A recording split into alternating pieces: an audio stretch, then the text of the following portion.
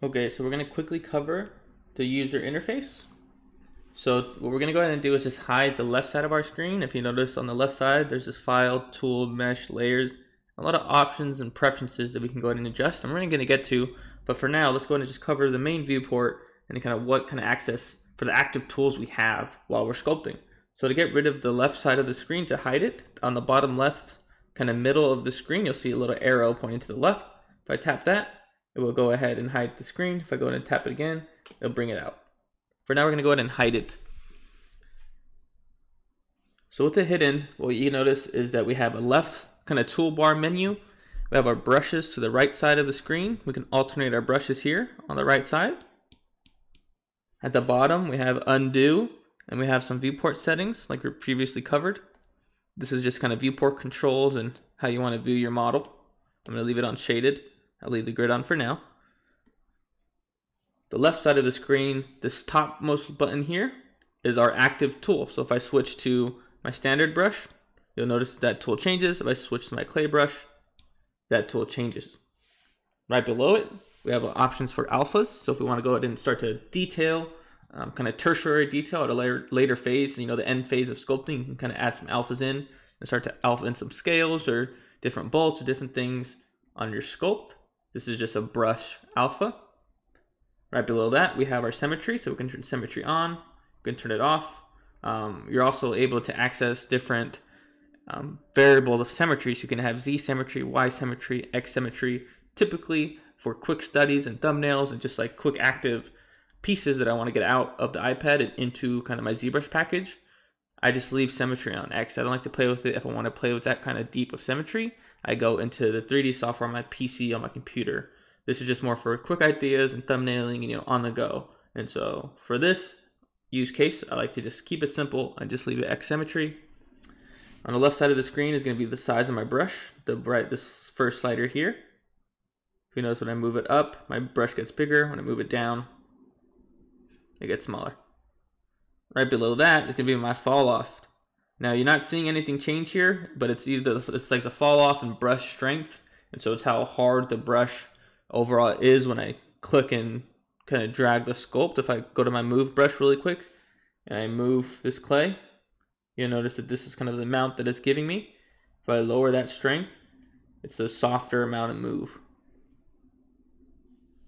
If I go high, I can move it really long. So that's gonna be my brush strength.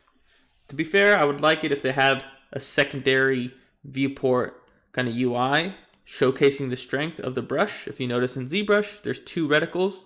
There's one for your size, which is this one, and then they have a secondary internal reticle or circle viewport UI that when you click and drag it, it's like your focal shift. It's the hardness and softness of your brush. It'd be really nice if Forger eventually did add this in.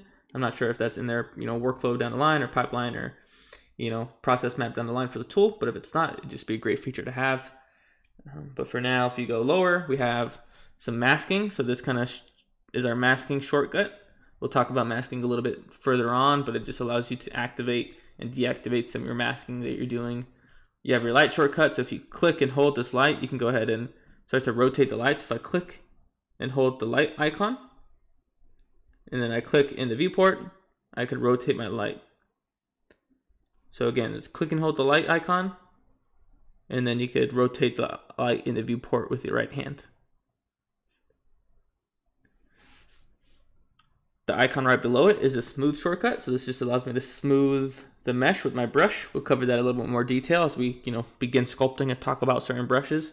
It also allows you to snap. So if I'm moving in the viewport here with my right hand, I'm moving in the viewport with my Apple Pencil. If I click and hold that, I can snap to 90 degree functions on my viewport. So if I want to get, you know, a side view of this piece, I can click and drag with my Apple Pencil in the viewport, shift to snap. Right below that is my plus and minus, so that's my add or subtract. So just like in ZBrush or any kind of clay digital sculpting software, you can add clay. So if I go to my clay brush, maybe give myself a lower brush here, and I start to sculpt on my model, it's adding clay. But if I click and hold the plus and minus sign, it's gonna take away, so it starts to subtract clay. So that's my add and subtract button. Right below that is my navigation shortcut. Um, I don't really use it. I use the touch gesture controls. Um, it's just a different way of you know framing and kind of getting your objects together. And if you notice, there's a two arrows in the middle of the screen at the bottom of the screen. That's undo. So if I tap the left one a couple times, that undoes. If I tap the right one a couple times, that kind of forwards the the the memory of the sculpt. So you can kind of undo your strokes or go forward again and you know get those strokes back.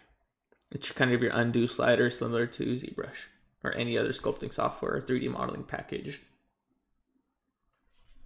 You can go ahead and click this little bottom icon right next to the arrow that closes and opens the menu. There's a circle with a little kind of outward arrows that just frames your mesh. So you ever, if you're ever lost in space and you kind of you lose your object out in space, tap the little icon and it'll frame your object. Awesome. So with that, we went ahead and covered the general UI that you're going to be seeing while you're sculpting. If you don't have reference up and this is kind of what you want to see, this is the general UI. Again, you can turn off the grid here. When, we, when I sculpt, I turn off the grid once I kind of know where the front, back, and left and right is. Put some strokes down, turn off the grid, and you're good to go. So that's that. Let's go ahead and move on to the next lecture.